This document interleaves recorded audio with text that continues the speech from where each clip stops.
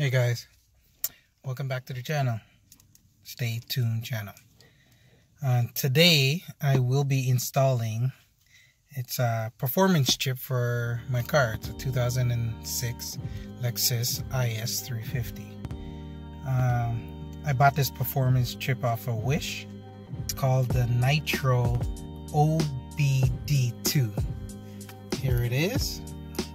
Hopefully you can see it. Will be installing this today.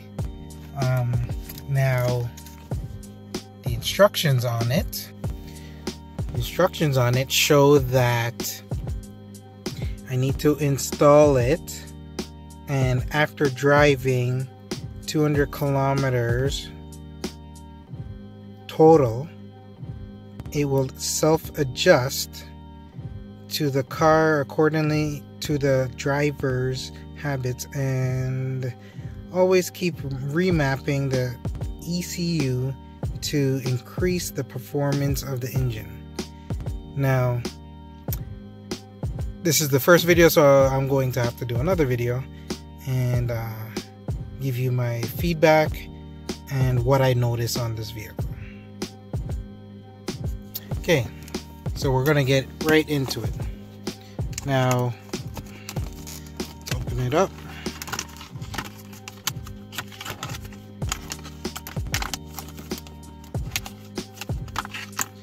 Struggling here, sorry guys. Uh,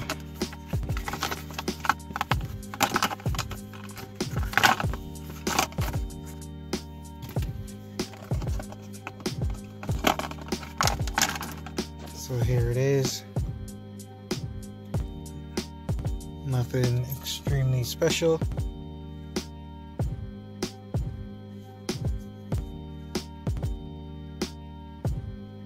Okay, so it installs door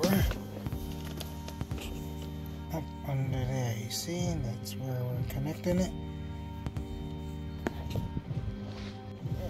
Just installed it. There it is. Okay, let's close the door. And it should be as simple as that. Start the engine.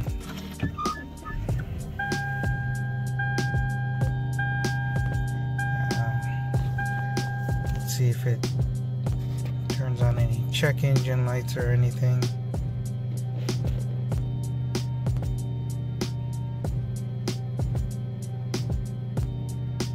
So far, so good. Nothing yet.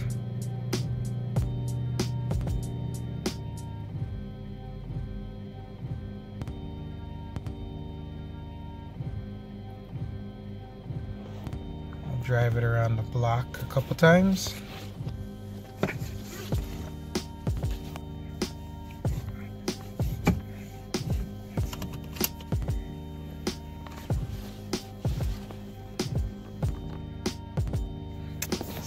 Nothing, which is a good sign so far.